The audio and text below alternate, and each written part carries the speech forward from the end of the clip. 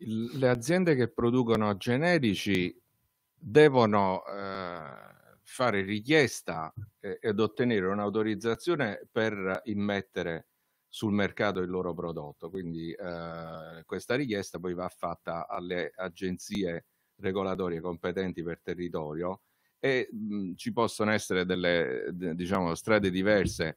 Eh, un'azienda può fare una richiesta in molti paesi europei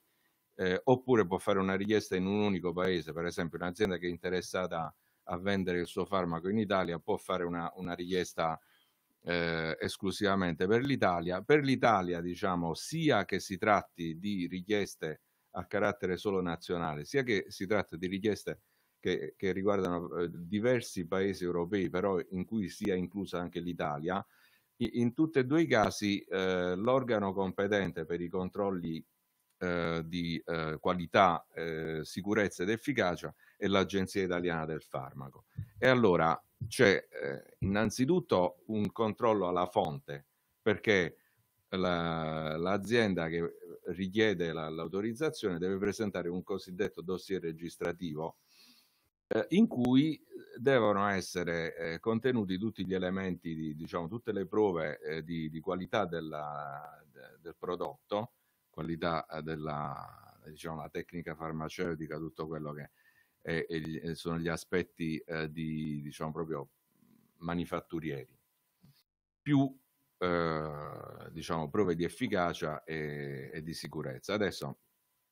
eh, sulle prove di efficacia e sicurezza eh, c'è da dire che ci sono dei percorsi agevolati, eh, perché ovviamente un farmaco che sia già presente sul mercato, la molecola è già conosciuta da tanti anni, tantissimi anni, quindi non è eh, necessario rifare tutte le prove di efficacia, ci sono delle prove di efficacia surrogate, diciamo una specie di scorciatoia che viene concessa per questi farmaci e, e che poi magari forse più avanti avremo modo di, di, di parlarne più in dettaglio, eh, ma una cosa importante da chiarire è che per quanto riguarda l'aspetto di qualità del prodotto, quindi diciamo la parte del dossier registrativo che riguarda la cosiddetta quality, allora la qualità del prodotto deve rispondere agli stessi requisiti che vengono richiesti per un farmaco originator. Quindi non ci sono sconti che le agenzie fanno riguardo alla qualità del prodotto equivalente. Ecco, questo penso e sia un concetto molto importante. importante. E eh, per di più c'è da dire che poi se un farmaco è stato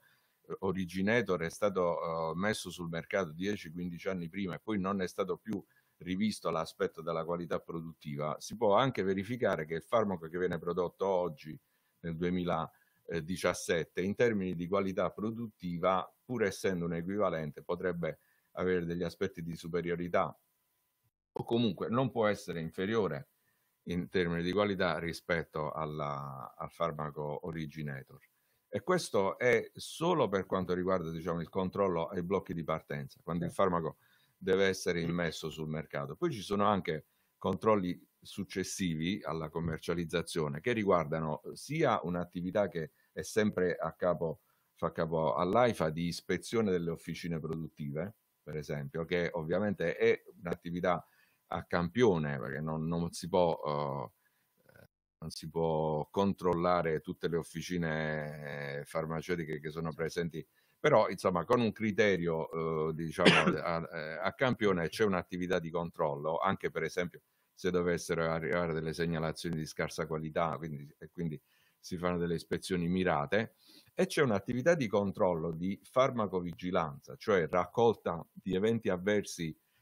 post marketing, quindi successivi alla commercializzazione, che per i farmaci generici funziona esattamente alla stessa maniera di quello che è il funzionamento di raccolta dei, di, diciamo, di dati di reazioni avverse ai farmaci per i prodotti, eh, per i farmaci cosiddetti originator. Quindi le aziende che producono farmaci eh, equivalenti devono avere un loro sistema di farmacovigilanza, raccolta dati, eccetera, che funziona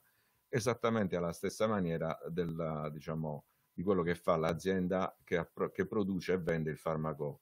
eh, originator. Quindi i livelli di qualità sono, di, di controllo sono a, a, questi step e a, a questi livelli diciamo assolutamente assimilabili a quello che si fa per un farmaco originator.